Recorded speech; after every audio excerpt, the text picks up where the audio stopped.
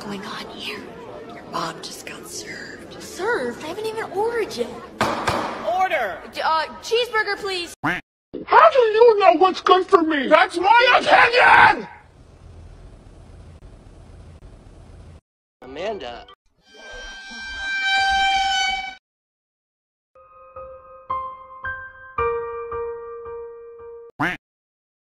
Bruh, you know what I was thinking, bruh? Hmm. If your leg get cut off, would it hurt? Duh. How though? Cause your leg got cut off, fool. Where you gonna feel the pain? In your leg. Exactly, bruh. How you gonna feel the pain in your leg if your, leg, is gone?